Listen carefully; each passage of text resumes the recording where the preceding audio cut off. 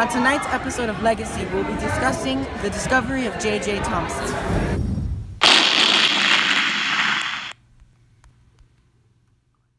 Sir Joseph John J.J. Thomson was such an important scientist. His discovery shaped all aspects of science and really influenced our knowledge on the atom.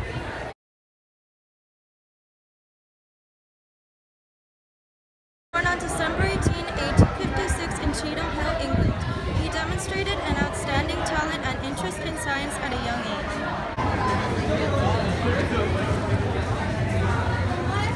After his early education from various private schools, he was shockingly accepted to Owens College at 14 years old.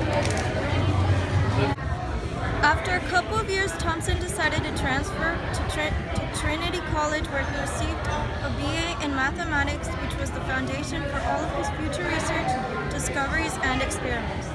Thomson's discovery really began with ideas and questions in his head that he started to put together one by one.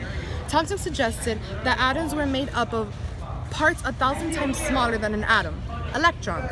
He came to this conclusion because he was able to calculate the mass of particles in cathode rays. He estimated the mass of cathode rays by measuring the heat generated when the rays hit a thermal junction and comparing this with the magnetic deflection of the rays. His experiments suggested not only that cathode rays were over a thousand times lighter than the hydrogen atom, but also that their mass was the same in whichever type of atom they came from. He concluded that the rays were composed of very light, negatively charged particles, which were a universal building block of atoms.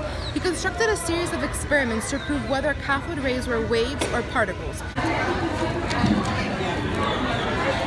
In the first one, he used magnetic fields to redirect the flow of the ray, proving that the negative charge and the ray were inseparable and intertwined. In the second, he managed to deflect the rays with an electric charge, further proving that the rays were made of a negatively charged particle. In the third, he decided to try and find out more about the nature of the particle. He found that the particle's mass to charge ratio were so large that he either had to carry a massive charge or be several times smaller than the hydrogen atom. From these experiments, he concluded that atoms consisted of these negatively charged particles swimming in a sea of positive charge.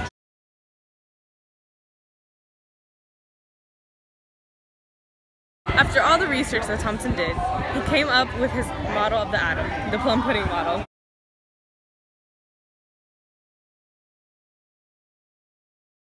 It was created after the discovery of the electron but before the discovery of the atomic nucleus.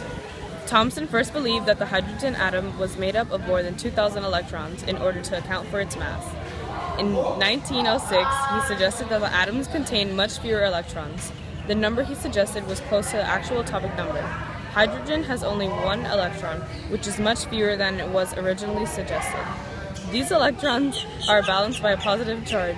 The charge and mass distributed in the atom was unknown at the time. So Thomson proposed a plum pudding model, which is also known as the chocolate chip cookie or the blueberry muffin model.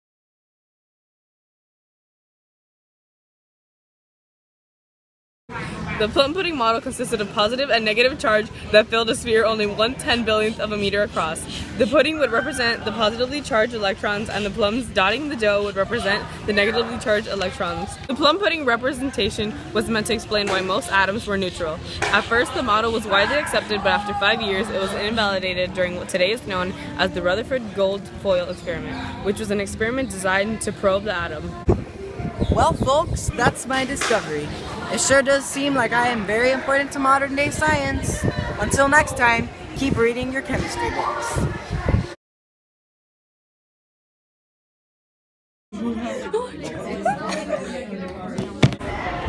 On tonight's episode of There was a fly in my hair. Thomas, Thomas, his name's not Thomas, his name is Thomson. Oh